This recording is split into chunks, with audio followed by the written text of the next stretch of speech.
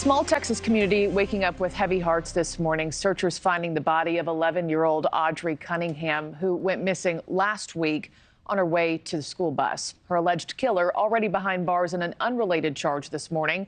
Our Stephanie Haynes has been following this case, joins us live from Livingston, Texas. Stephanie, this, of course, is the end that we were all dreading. My heart just breaks for her family. What now comes next in this investigation? Yeah, Markie, good morning. That capital murder charge is in the works as 42 year old Don Steven McDougal sits in this jail right behind me. And as he was doing so around the corner, that's when the sheriff delivered that awful news that Audrii had been found. And it was remarkable to see a crowd of community members show up to that press conference wanting to hear the news first thing for themselves. They were all dressed in purple and handing out these ribbons. Purple was Audrii's favorite color, and they wanted to be there to show support for her.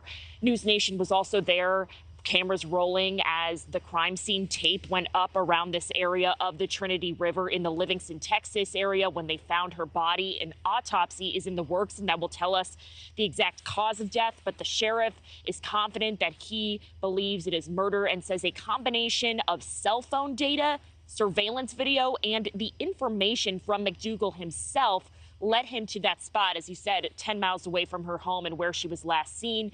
McDougal, a family friend who lived on the property, has got a lengthy criminal history and admitted to investigators that he allegedly left the house with Audrii on the morning she disappeared. We went back to Audrii's neighborhood and spoke to neighbors who lined their fence with purple balloons in honor of Audrii. She said this neighbor we spoke to would see Audrii walk to the bus stop every day, not that Thursday though, and calls Audrii a ray of sunshine. I've been so devastated since she's been missing and I usually work from home and and I haven't been able to work because I can't concentrate other than seeing her little smile and waving and you know with the dog so it's it's hard it's very hard and it's going to take us some time and Markie, this morning, the school district also sending out a statement saying that their hearts go out to the community. In this time, they're offering counselors for their students. Audrii was in fifth grade.